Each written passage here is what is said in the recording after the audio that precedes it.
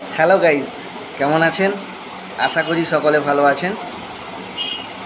এখনকার সোশ্যাল মিডিয়ার দিনে প্রতিদিন নিত্য নতুন ঘটনা, খবর বা কোনো প্রতিভা সবার সামনেই আসলেই সেটা কিন্তু ভাইরাল হয়।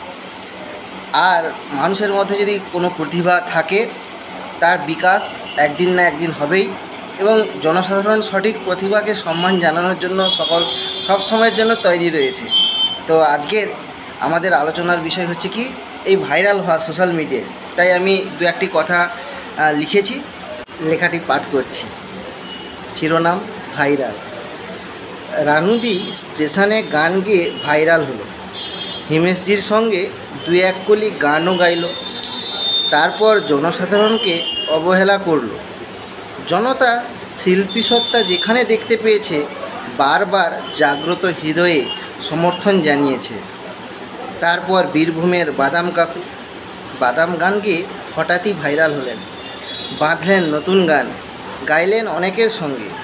অভাবের সংসারে বাদাম কাকু গান গেয়ে হাসি ফোটালেন সবার মুখে।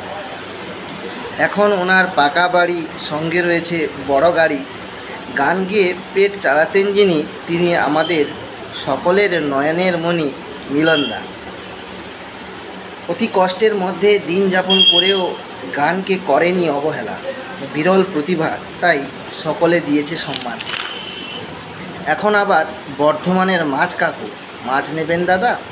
মাছ নেবেন? এমন টাটকা তাজা মাছ আর কোথায় পাবেন? এই গান গেয়ে ভাইরাল বর্ধমানের মাছ কাকু। অবশেষে বলি, প্রতিভা থাকলে কোনো না কোনো দিন তার প্রকাশ পাবে আর সঠিক প্রতিভাকে সম্মান জানাতে জনতা কখনো পিছিয়ে আসেনি। তাই যদি আপনার মধ্যে কোনো প্রতিভা থাকে, অবশ্যই তার প্রকাশ একদিন না একদিন জনসমাজের মধ্যে ফুটে উঠবে। আর তাকে সমর্থন করতে জনসাধারণ কিন্তু পিছিয়ে আসবে না। তবে অনেকের ক্ষেত্রে এই প্রতিভার প্রকাশ পেয়ে যাওয়ার পর, অনেক মানুষের ভালোবাসা পেয়ে যাওয়ার পর নানা রকম পরিবর্তন তাদের আচার আচরণে লক্ষ্য করা যায়। এক্ষেত্রে কিন্তু জনসাধারণ দুঃখ পায় সেই কথাটাও আমি কিন্তু আমার লেখার মধ্যে তুলে ধরেছি।